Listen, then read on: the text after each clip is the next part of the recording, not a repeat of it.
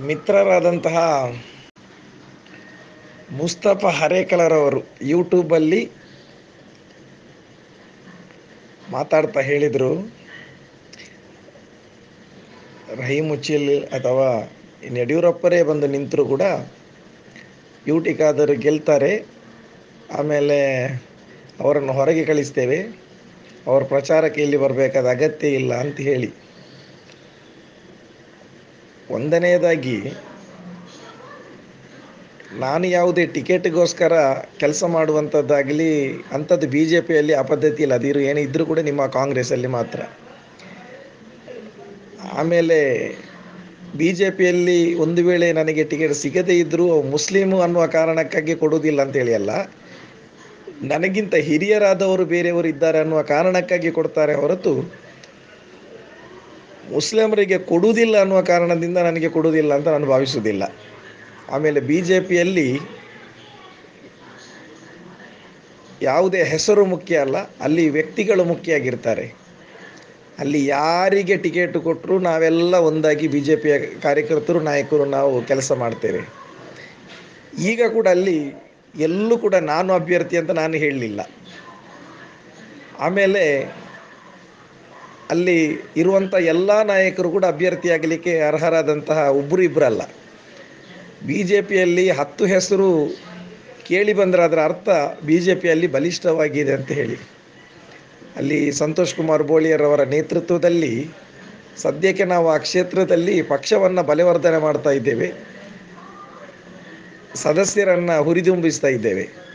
ಪಕ್ಷ ಯಾರಿಗೆ ಟಿಕೆಟ್ ಕೊಟ್ಟರು ಕೂಡ ಎಲ್ಲರೂ ಪ್ರಾಮಾಣಿಕವಾಗಿ ಕೆಲಸ ಮಾಡ್ತೇವೆ. ಬಿ ಜೆ ಪಿಯಲ್ಲಿ ಕಾಲೆಳೆಯುವಂಥದ್ದಾಗಲಿ, ಅಥವಾ ಮುಸ್ಲಿಮು, ಬಿಲ್ಲವ, ಬಣ್ಸ್, ಅಥವಾ ಮತ್ತೊಂದು, ಇನ್ನೊಂದು, ಆ ರೀತಿ ನೋಡತಕ್ಕಂಥ ಸಂಪ್ರದಾಯ ನಮ್ಮಲ್ಲಿಲ್ಲ. ಬಹುಶಃ ಅಲ್ಲಿ ಬೇರೆ ಯಾರಿಗೆ ಟಿಕೆಟ್ ಸಿಕ್ಕಿದರೂ ಕೂಡ ರಹಿ ಮುಚ್ಚಿಲು ಪ್ರಾಮಾಣಿಕವಾಗಿ ಕೆಲಸ ಮಾಡ್ತೇವೆ. ಅದೇ ರೀತಿ ಬೇ, ನನಗೆ ಒಂದು ವೇಳೆ ಜಗದೊಡೆಯನ ಆಶೀರ್ವಾದ ಇದ್ದರೆ ಅಲ್ಲಾಹನ ಕೃಪೆ ಇದ್ದು ನನಗೆ ಸಿಕ್ಕಿದರೆ ಉಳಿದವರು ಕೂಡ ನನಗೆ ಕೆಲಸ ಮಾಡ್ತಾರೆ. ಆದರೆ ನಾವು ಯಾವತ್ತೂ ಕೂಡ ಸೃಷ್ಟಿಕರ್ತನನ್ನು ಮರೆತುಕೊಂಡು ನಾವು ಮಾತಾಡೋದಿಲ್ಲ.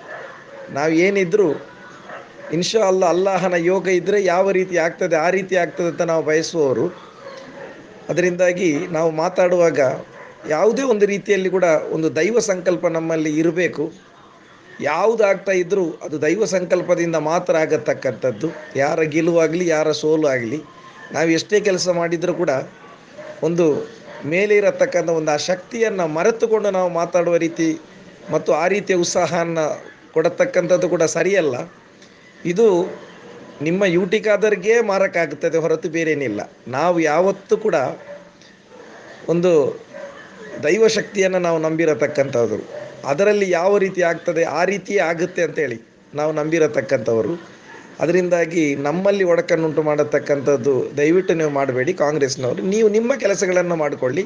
ನಮ್ಮದು ಬಹಳ ಚಂದದ ಮನೆ. ಅದನ್ನು ಒಡೆಯತಕ್ಕಂಥ ಕೆಲಸ ಮಾಡಬೇಡಿ. ನಾವೆಲ್ಲರೂ ಒಗ್ಗಟ್ಟಾಗಿದ್ದೇವೆ. ಯಾರೇ ಅಭ್ಯರ್ಥಿಯಾಗಿದ್ದರೂ ಕೂಡ ನಾವೆಲ್ಲ ಒಗ್ಗಟ್ಟಾಗಿ ನಾವಲ್ಲಿ ಕೆಲಸ ಮಾಡ್ತೇವೆ.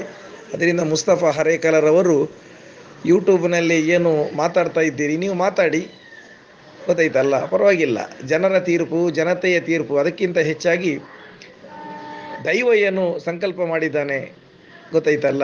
ಆ ದೇವರು ಏನು ಸಂಕಲ್ಪ ಮಾಡಿದ್ದಾರೆ, ಆ ಸೃಷ್ಟಿಕರ್ತ ಜಗದೊಡೆಯನ ಅದಕ್ಕಿಂತ ಹೆಚ್ಚಿನದು ಬೇರೆ ಯಾವುದು ಎಲ್ಲಿಯೂ ಆಗುವುದಿಲ್ಲ, ಉಳ್ಳಾಳ ಮಾತ್ರ ಅಲ್ಲ.